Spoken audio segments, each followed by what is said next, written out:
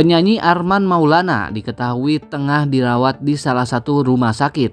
Vokalis band Gigi itu harus mendapat perawatan akibat menderita demam berdarah.